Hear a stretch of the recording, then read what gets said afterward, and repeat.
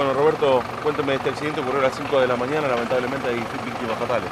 Sí, minutos después de las 5 somos alertados eh, por un automovilista que en la intersección de lo que es la avenida 60, casi llegando a la rotonda Favaloro, eh, se había producido un accidente de tránsito con personas eh, heridas y aprisionadas en el interior. Inmediatamente se acerca la primera unidad al lugar y al arribar constata un accidente muy significativo y encuentra un, rodado, un BMW Golf, un Volkswagen Golf, con dos personas en su interior. Eh, al certificar, al no haber arribado todavía la ambulancia, el personal inicia las tareas de explicación, rescate